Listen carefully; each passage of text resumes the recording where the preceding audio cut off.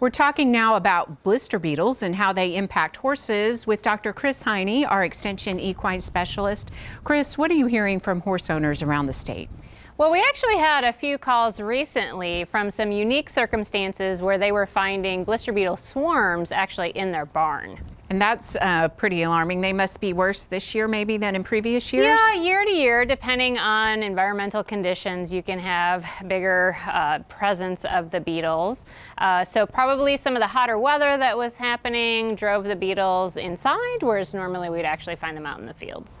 Now, obviously, this is cause for concern because it can really hurt the horses and obviously be painful for people too. Yeah, so blister beetles are extremely toxic for horses. Um, and interestingly, depending on the species, it may vary by the amount of beetle that they eat.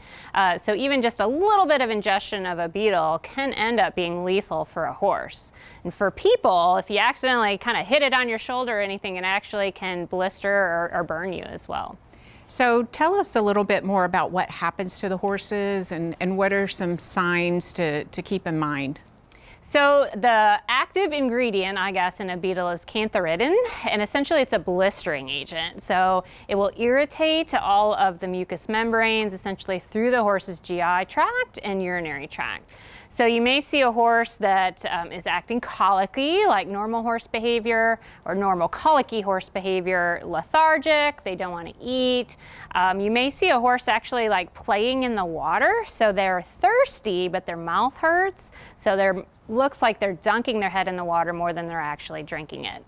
Um, because some of the irritation to the mucous membranes, you may see them looking like they're straining to urinate. So really look for abnormal behavior signs in your horse and try to think about what may actually be causing that.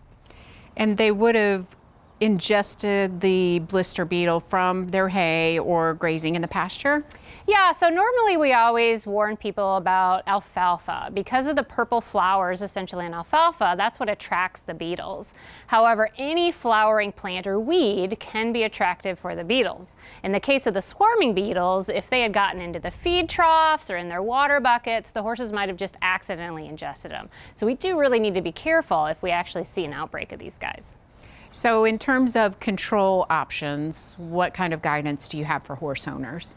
So the biggest one is actually trying to eliminate weeds. So certainly not having a lot of flowering broadleaf weeds in the pasture, so weed control that way.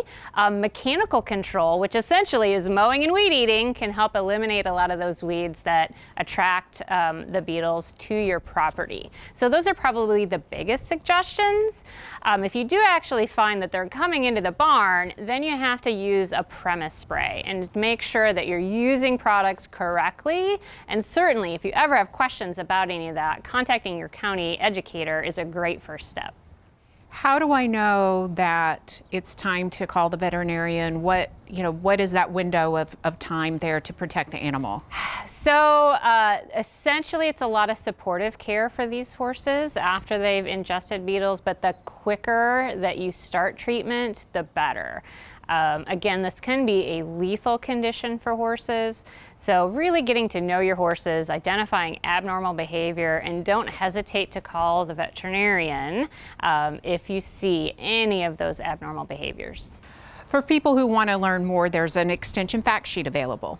Yeah, it's actually titled Blister Beetles in Alfalfa, which is where we normally think about the beetles occurring, but it really covers everything that you need to know concerning these beetles. Okay, great. Thanks a lot. And for a link to that fact sheet, go to sunup.okstate.edu.